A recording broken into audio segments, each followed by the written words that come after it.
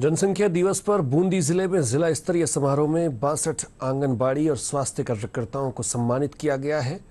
राज्य स्तर पर जनसंख्या नियंत्रण में बूंदी ज़िले को मिले दूसरे स्थान में इन स्वास्थ्य कार्यकर्ताओं की महत्ती भूमिका को सराहा गया है।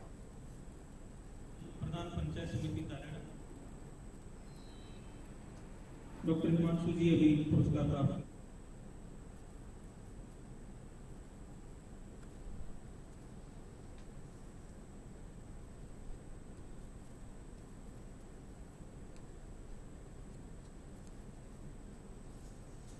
पुरस्कार, द्वितीय पुरस्कार बूंदी ज़िले को प्राप्त हुआ है, परिवार कल्याण कार्यक्रम के अंतर्गत। ये एक बहुत ही खुशी की बात है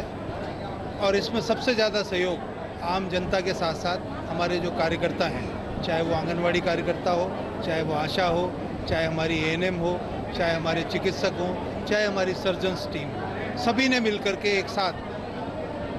मन लगा करके काम किया। इसी का ये नतीजा है कि बूंदी ज़िले को राज्य स्तर पर द्वितीय पुरस्कार प्राप्त हुआ। ने जो सबसे ज़्यादा नसबंदी करवाई, इसके लिए हमें प्रमाण पत्र वगैरह और इनाम वगैरह मिली है और हम इससे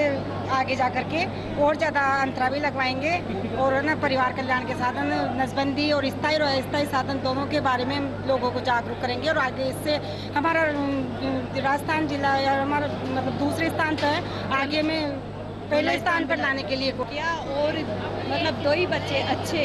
उसके बारे में बताया कि जैसे दो बच्चे होते हैं तो उनका अच्छी तरह से पालन पोषण किया जा सकता है और ज़्यादा बच्चे होने पर उनको ना तो हम उनकी ज़रूरतों को पूरा कर सकते हैं और नहीं उनकी परवरिश अच्छी तरह से कर सकते हैं। इसलिए दो ही बच्चे अच्छे हैं।